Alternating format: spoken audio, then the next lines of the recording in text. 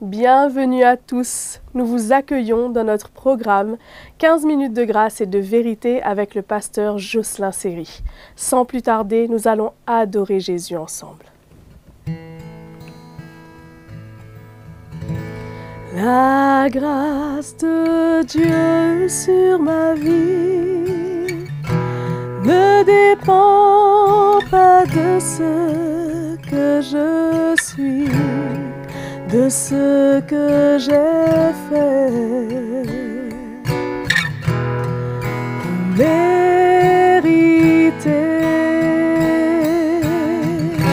c'est un don de miséricorde que le Seigneur m'a accordé à cause de son amour, son amour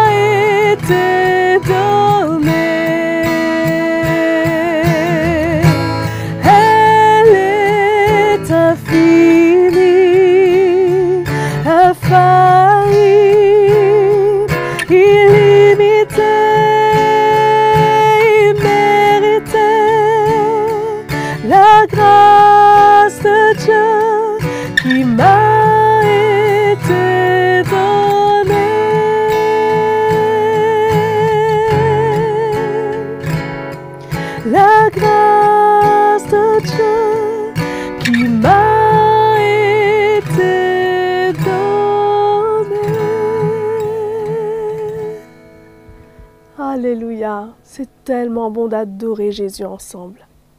Je vous laisse maintenant avec le pasteur Jocelyn Séry. Bienvenue à vous tous, les frères et sœurs bien-aimés, fidèles, participants de cette émission 15 minutes de grâce et de vérité. Encore merci à Maëva pour ce chant. Et euh, aujourd'hui, j'aurais aimé lire avec vous un de mes versets préférés euh, des dix premiers chapitres du livre des Proverbes. Et au chapitre 4, on va lire cela. Chapitre 4, au verset 18.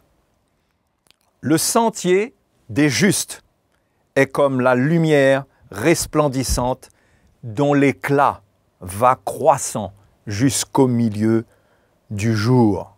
Hein? N'est-ce pas bien dit hein? La parole de Dieu, non seulement elle est vérité, mais Dieu sait parler hein? et il sait inspirer ceux qui écrivent. Le sentier des justes est comme la lumière resplendissante. Hmm?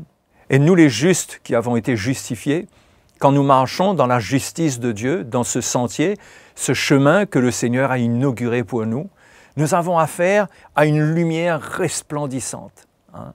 C'est la lumière parfaite de Dieu.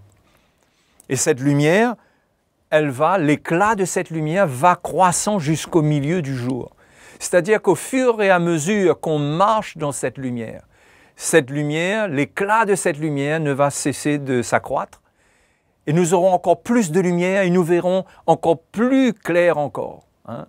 C'est merveilleux, les voies de Dieu, dans le, chemin qu'on parcourt avec le Seigneur, on ne stagne pas, on apprend, on pénètre de plus en plus la lumière de la sagesse de Dieu, de la vie de Dieu, au fur et à mesure qu'on garde, hein, qu'on continue dans le sentier des justes.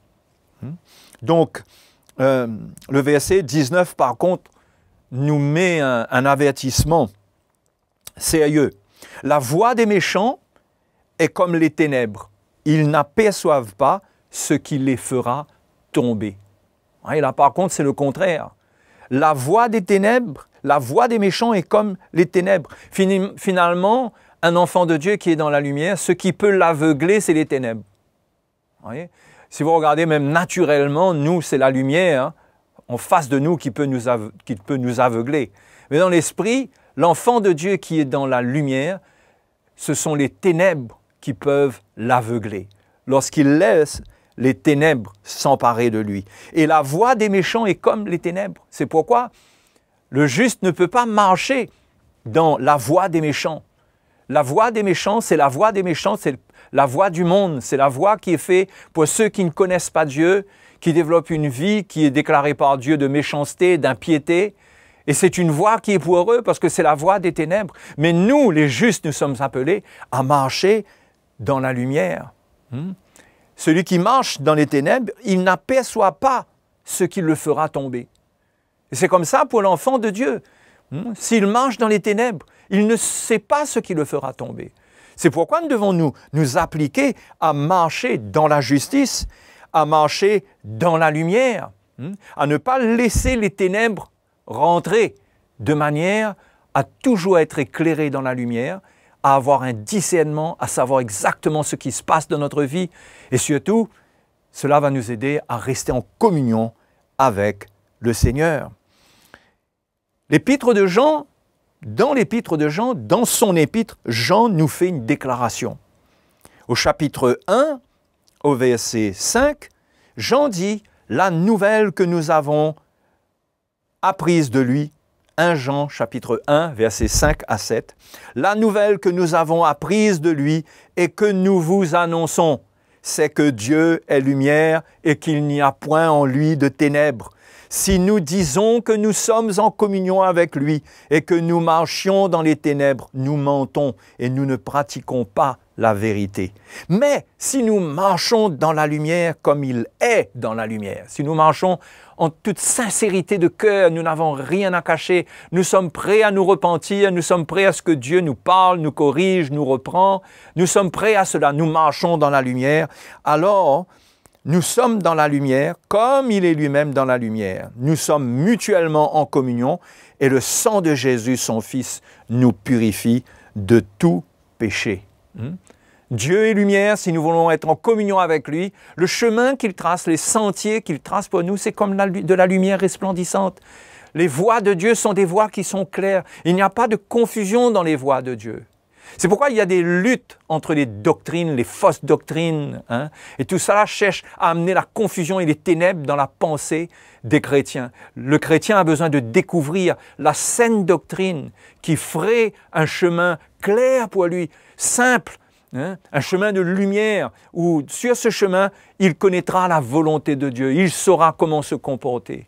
Mais il y a toutes sortes de doctrines qui viennent, qui veulent enseigner hein, d'autres voies que la voie de Dieu et faire marcher le chrétien finalement dans les ténèbres. Et cela amène beaucoup de luttes dans la vie du chrétien.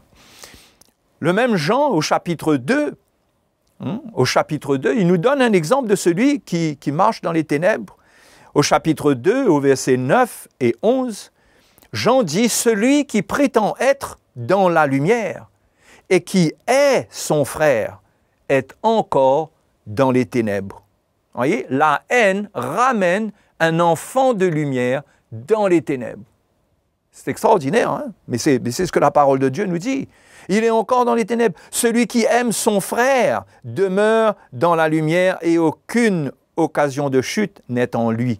Mais celui qui est son frère, si Jean dit celui qui est son frère, c'est que le frère du frère, c'est un chrétien. C'est pas quelqu'un qui n'est pas chrétien, qui n'est pas né de nouveau. Il parle de quelqu'un qui est chrétien et qui est son frère.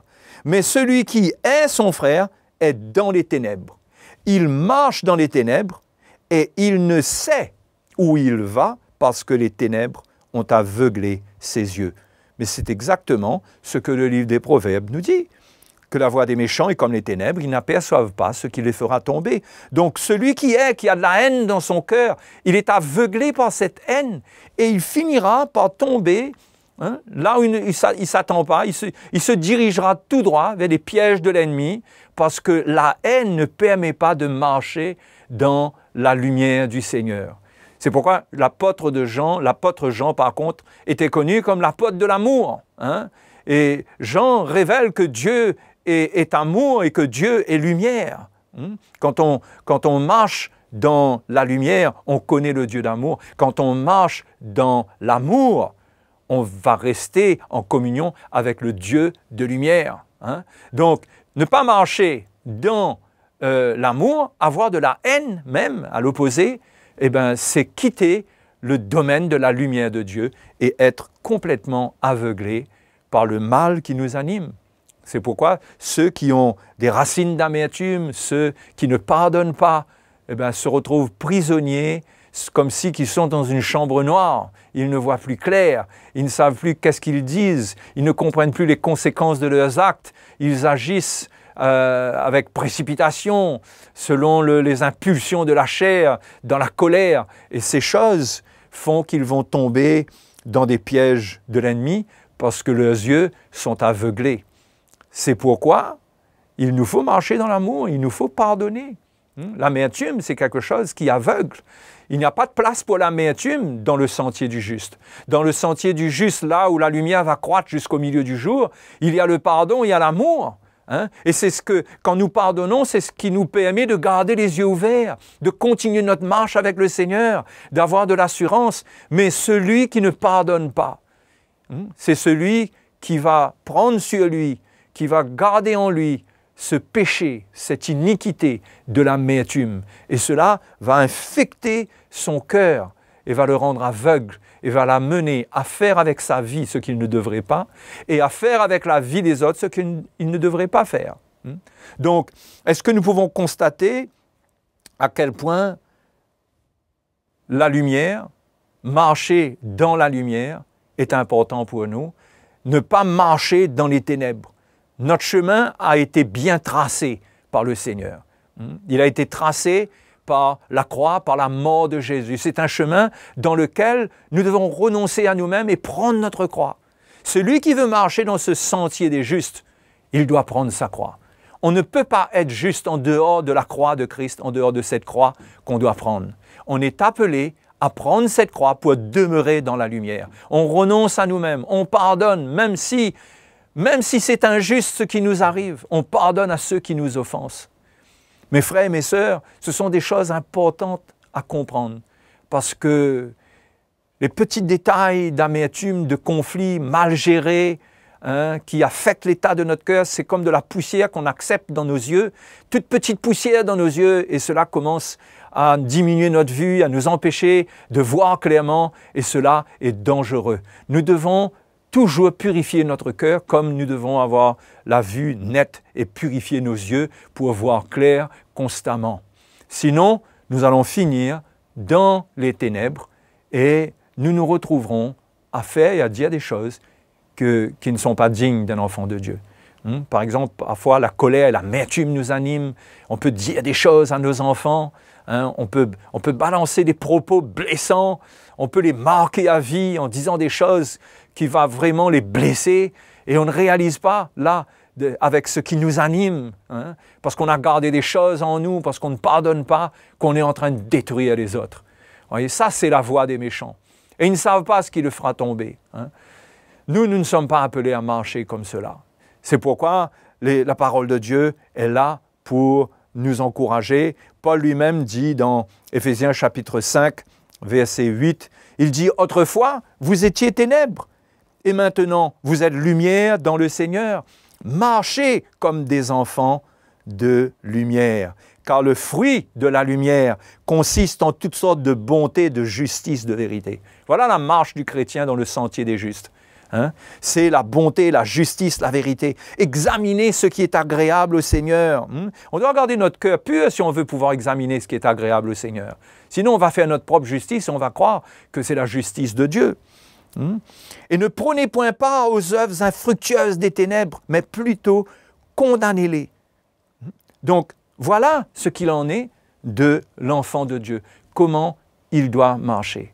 Alors aujourd'hui, peut-être que vous allez rencontrer les, ténèbres, hein, des, des, pièges, des tentations, des choses qui vont se passer, qui vont vouloir gâter votre cœur, vous aveugler, toutes ces choses qui viennent pour vous égarer.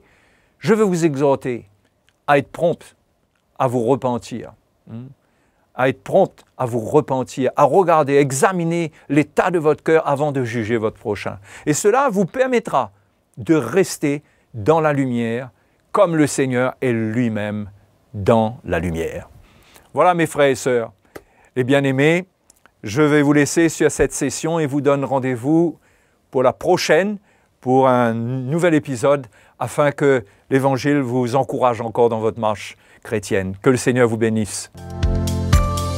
Je suis certaine que vous avez passé un agréable moment avec la parole de Dieu. Merci d'avoir été avec nous. Merci pour votre fidélité. N'oubliez pas, abonnez-vous à notre chaîne YouTube et si vous voulez nous écrire, écrivez-nous à l'adresse qui s'affiche sur vos écrans. Au revoir.